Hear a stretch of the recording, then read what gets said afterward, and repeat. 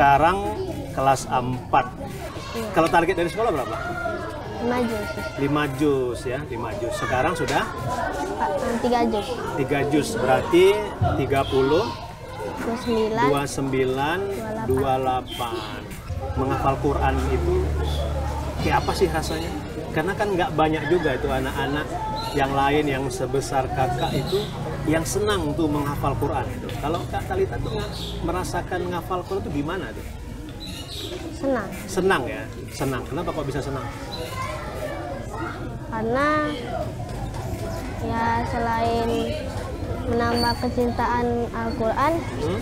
kita bisa dapat pahala. Masya Allah. Apalagi? Itu aja. Masya Allah, luar biasa pemirsa sahabat Quran.